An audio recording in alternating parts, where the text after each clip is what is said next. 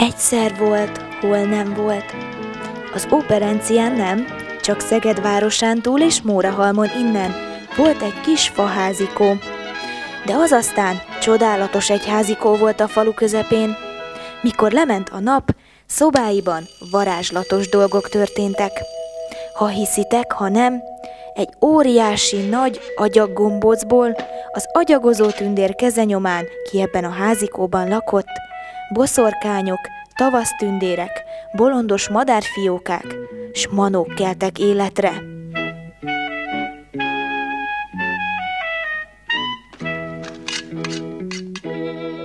Nagyon-nagyon régen a Gulácsiban láttam Werter Andreának a, a szobrait, ilyen nagy modarakat állítottak ki, akkor gondoltam, hogy nekem ilyen feltétlen kell csinálni, és kaptam is a férjemtől egy általa készített korongozó gépet, akkor bent laktunk Szegeden, a Tápai utcába, és beindítottam, ráraktam az agyagot, szétcsapta ezt a vizes, agyagos cuccot a, az előszobába 30 cm széles sávba, hát úgy gondoltam, hogy itt ezt abba is kellene nekem hagyni, akkor abba is hagytam. Akkor jöttek ilyen, ilyen más hobbiaim, például az üvegfestés, azt sokáig csináltam, majd amikor ide kiköltöztünk, akkor jutott eszembe, hogy ho, hát, hát az agyagozás az abba maradt, és akkor újra elkezdtem. Hát ö, olyan négy-öt éve ö, korongozok, ez egy év azzal telt, hogy középre rakjam az agyagot, úgyhogy rengeteg kis madáritatót készítettem én már azóta, és most itt tartok, van hova fejlődni nyilván, de, de nagyon leköt, szeretem csinálni. És a tanulási folyamat az teljesen egy ilyen úgymond autodidakta volt, vagy volt kitől tanulni, vagy gondolom esetleg könyvek, vagy internet, így tudom elképzelni, nem tudom, hogy ez hogy, hogyan alakult ki, hogy, hogy kaptam, kaptam könyveket, megvettem is könyveket, de rengeteget megnéztem a Youtube-on. Uh-huh. Tehát óraszámban már egy OK-is tanfolyamot nyilván elvégeztem. Nem jártam iskolába, nincs, nincs végzettségem, fazekas végzettségem.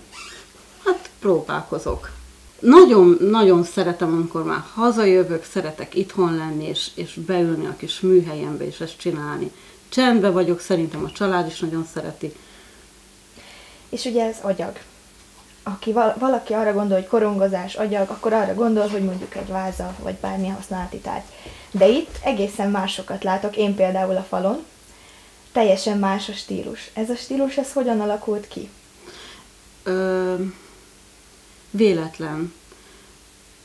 Azt hiszem az első, én is, én is ilyen kis vázákat készítettem, és elvágtam, föltettem egy lapra, és az úgy, úgy, úgy hirtelen megtetszett. Vannak olyan olyan figurák, például ezek a madarok, ezek ugyanúgy korongozva vannak a teste, a másiknak is.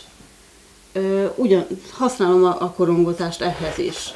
És honnan jön az inspiráció? Mind-mind más, de azért látom, hogy a madár, az ilyen különböző figurák, azért azok vissza-vissza térnek. Nagyon sok ö, út közben jut eszembe, vagy amikor fölébredek. De nagyon sokat nézek ö, ö, az interneten, Pinteresten látok egy képet, akkor azt megpróbálom agyagból megcsinálni. Itt is vannak olyanok, amit láttam rajzon, és azt agyagképbe csináltam meg.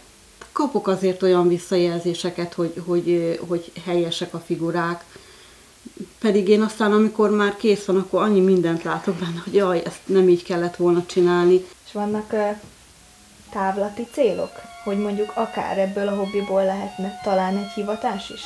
Van, vannak ilyen tervek? Persze.